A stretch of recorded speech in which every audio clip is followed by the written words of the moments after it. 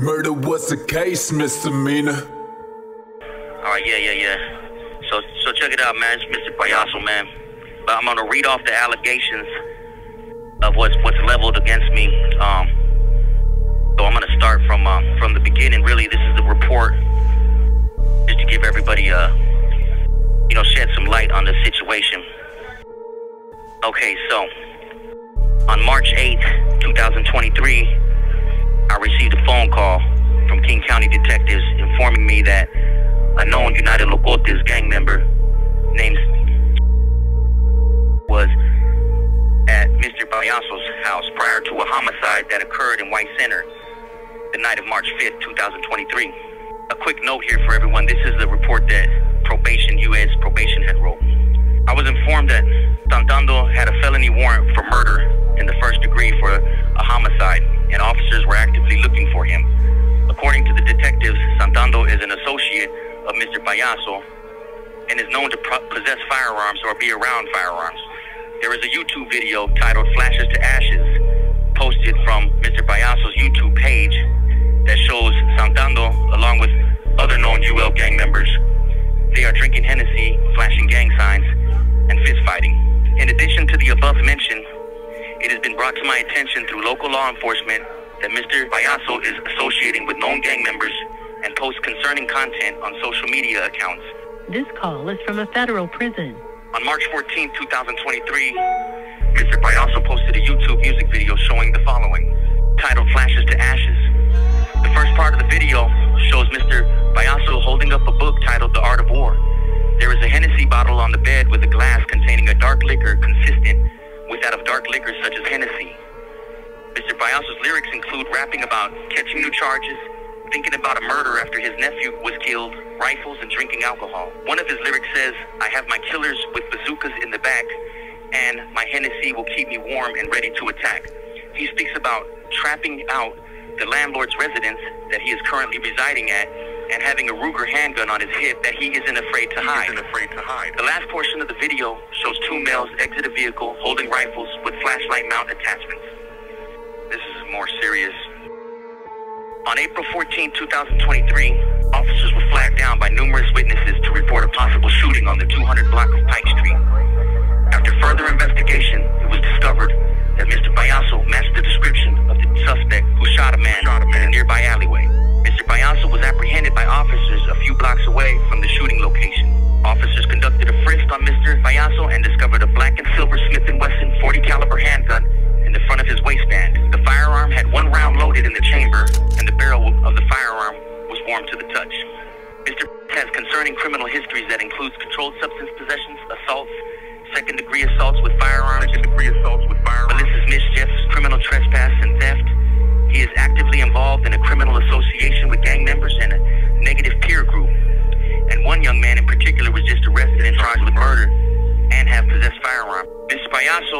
has been on supervised release. I respectfully recommend that the alleged violations be incorporated into the previous violations reports and that a warrant be issued due to community safety concerns. And it's signed by the United States probation officer and the judge and everyone else. So that's about the size of it. Like I said, I got my chest up and my head up high, and I'm I'm I'm, I'm undaunted, and, and I feel like um this is just an obstacle, you know. Even though a very huge one, I'm I'm optimistic that um all things glitter ain't gold.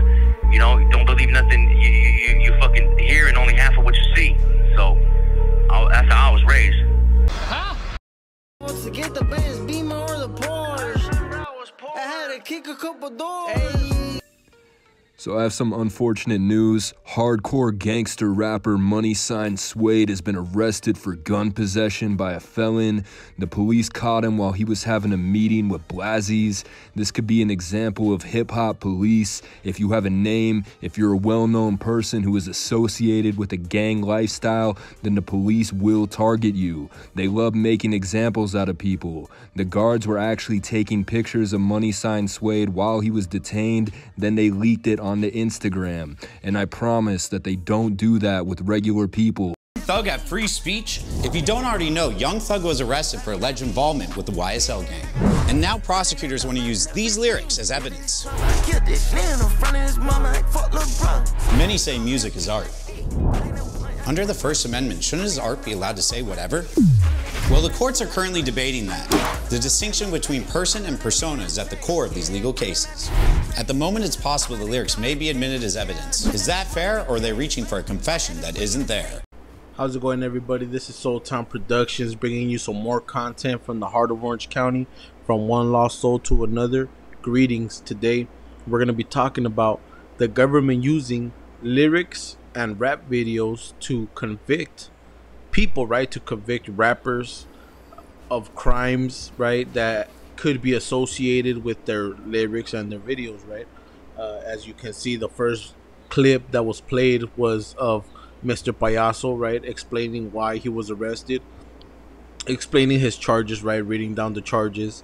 And uh, obviously, it's evident that they used his lyrics and his music video to uh, give him a violation, right? To get him arrested. Now he's in federal prison.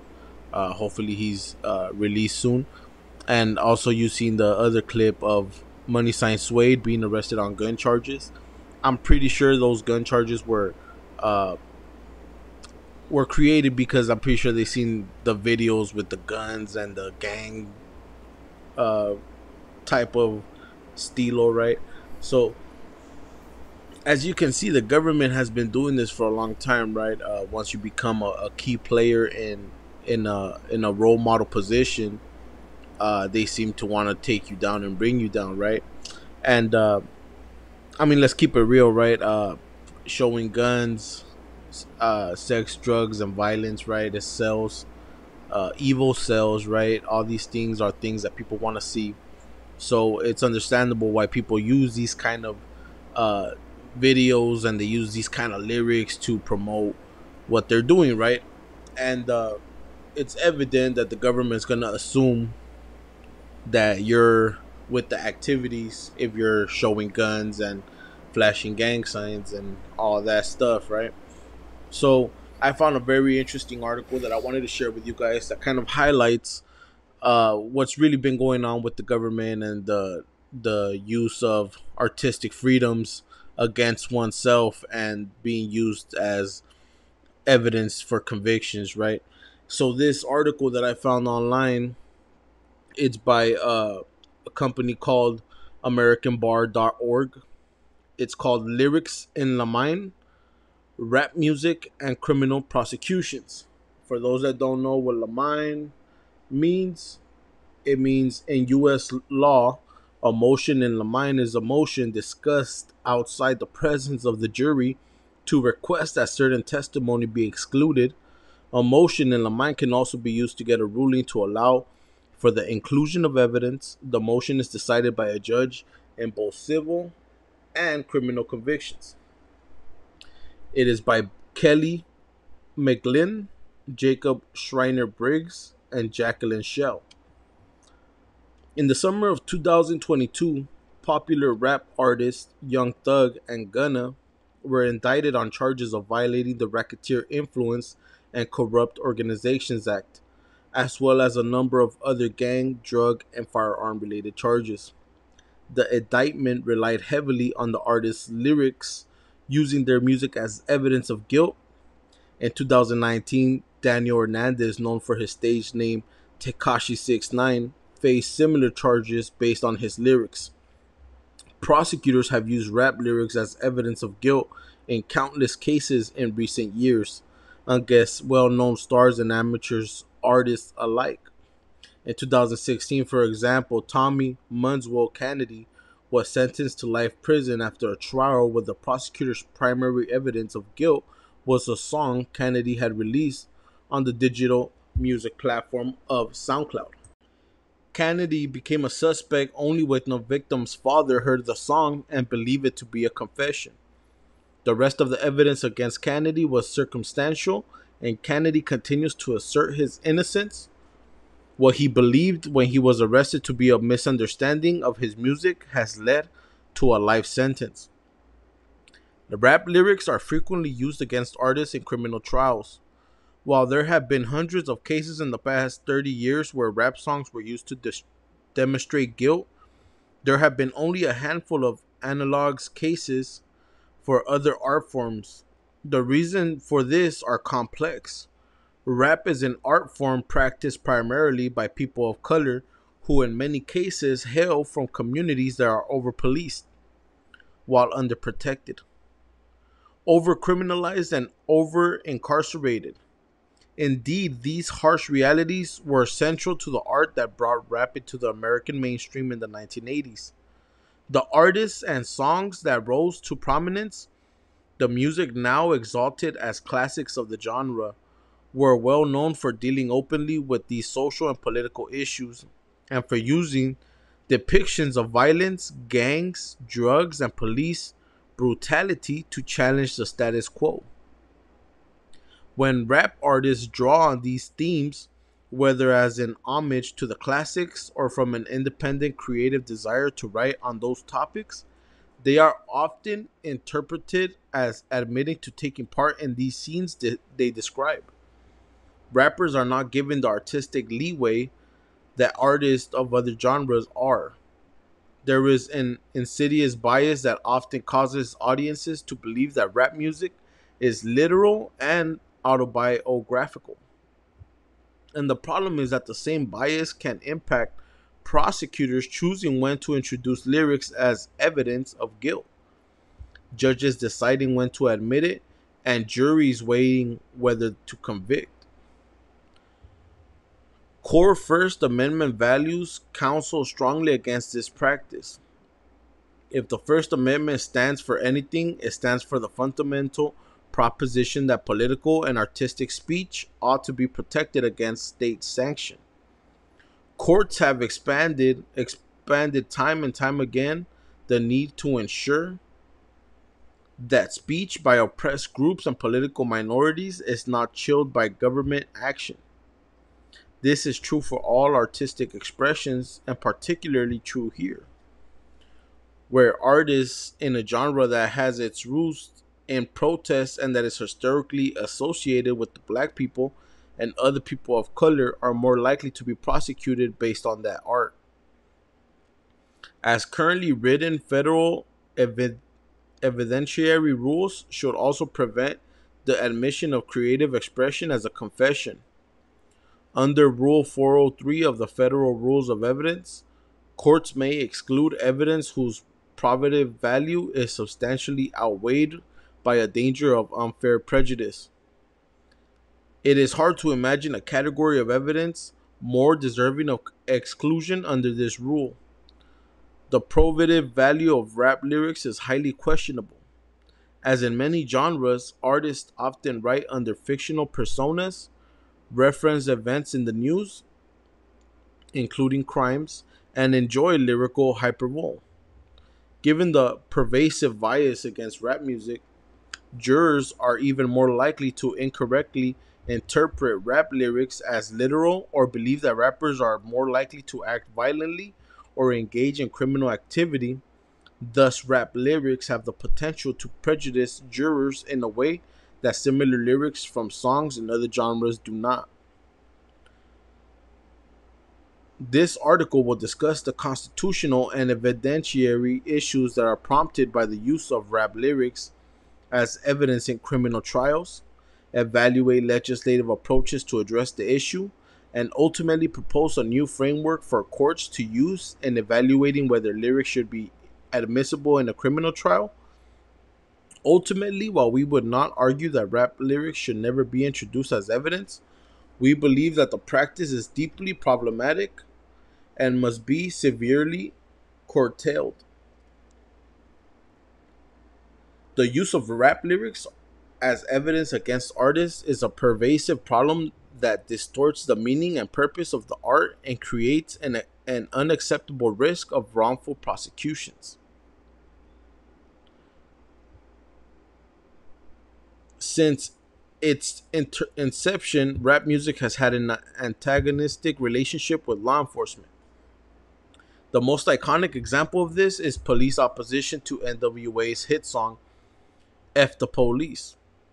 The song described instances of police brutality and portrayed a mock trial in which the rappers prosecuted the police department for its actions. Law enforcement responded to the song in a variety of ways, including by attempting to prohibit the song performances and then arresting the group for defying orders not to perform it. While police argued that the song encouraged violence against officers, NWA insisted that it was not meant to be literal call to arms, but an expression of frustration with abusive policing in minority communities. A fact later borne out by the consent decree the Los Angeles the city of Los Angeles entered into with the into with the US Department of Justice to provide federal oversight of the Los Angeles Police Department. Prosecutors have long taken the former view using rap lyrics as evidence of gang activity and violence.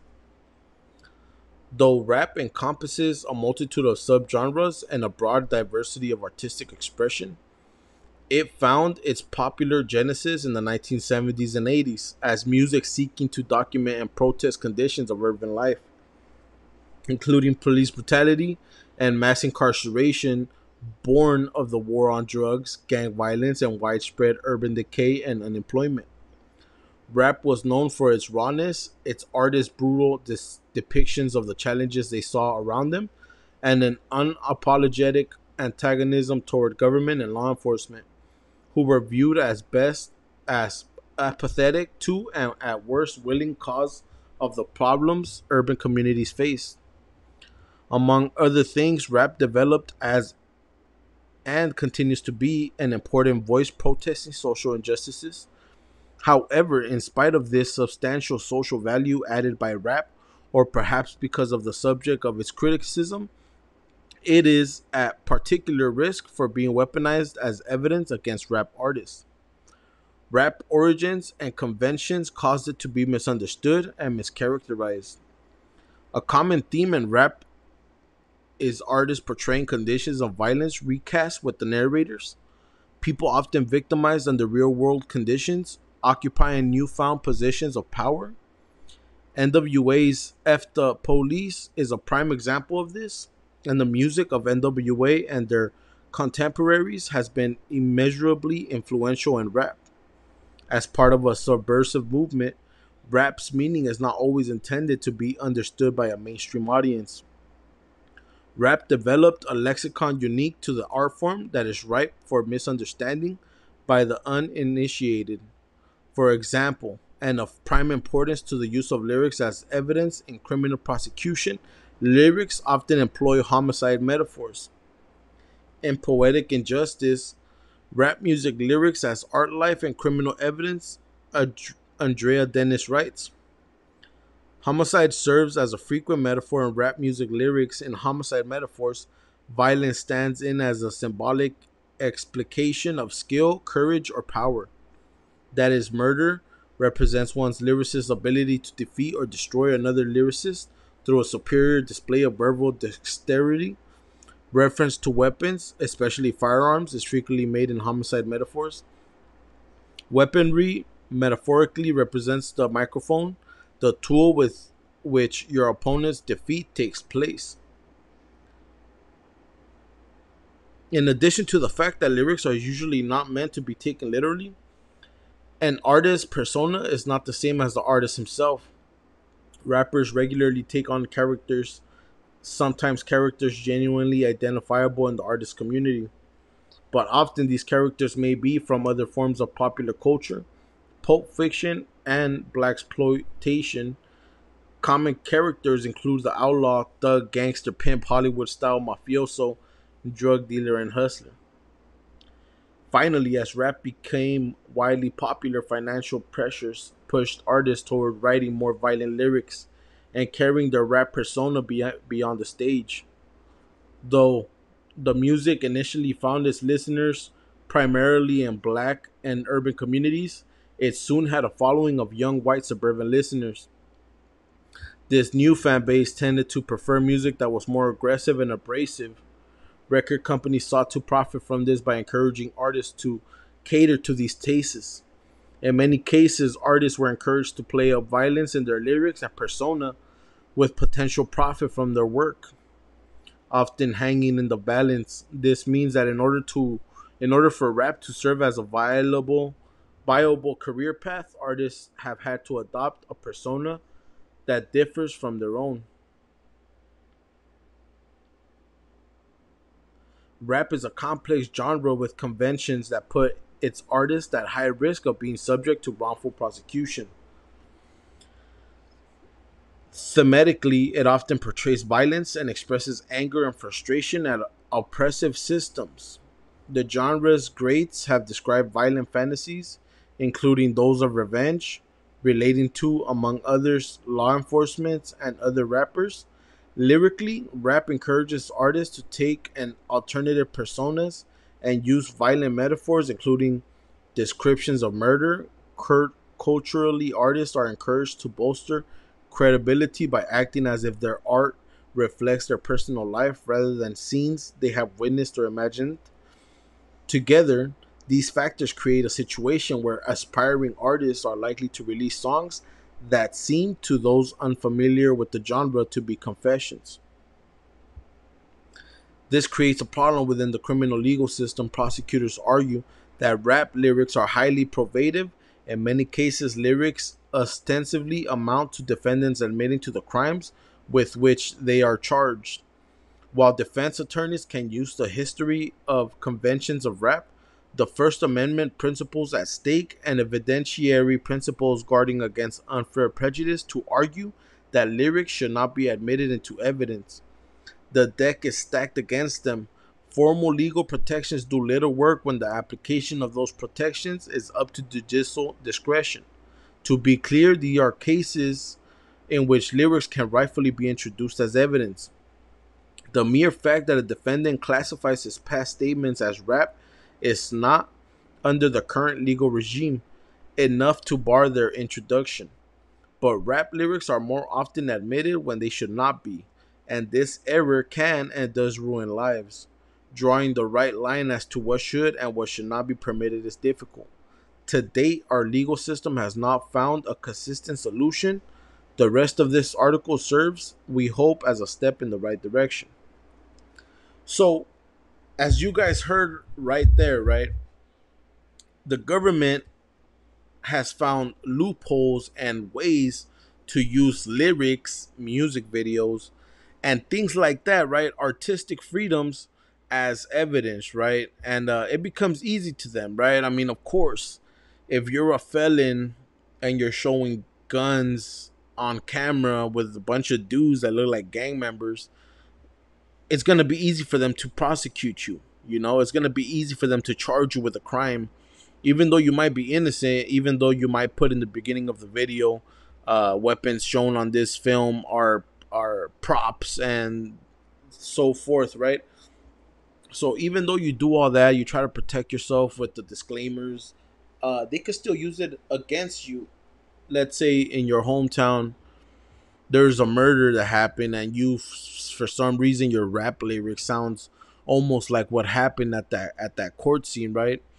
Uh, it's gonna get you in trouble. It's gonna get you into a position where you might not be able to get out of it. Uh, for these reasons, you know, I, I, wanted to speak to the youngsters. The youngsters nowadays be uh, uh, making music videos with the straps and the whole the whole gang scene and all that.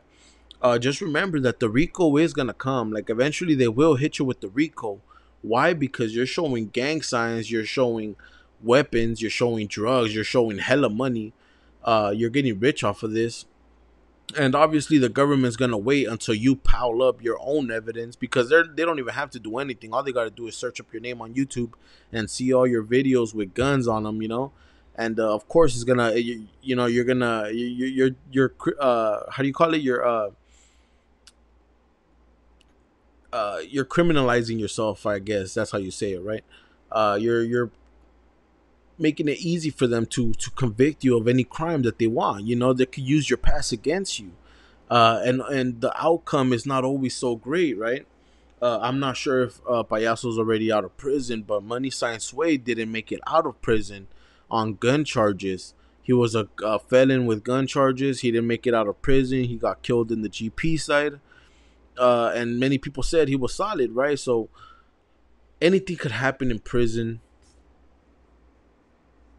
Any misunderstanding could lead to death, you know, despair. And uh, you know, more than likely I just wanted to share this this topic with you guys so you guys could be a little bit more wiser, right? So you guys could be a little bit more smarter. Uh don't talk about things that you've done on your rap lyrics, even though you want to be seen as a, as a as a legit dude, as a dude that that makes it happen, right? That that makes it crack, right? Uh, even though you want to be seen as this dude, you got to remember that it does always come back to bite you in the butt.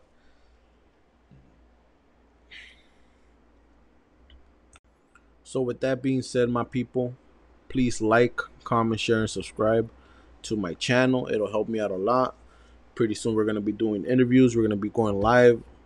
Uh, stay tuned and stay safe.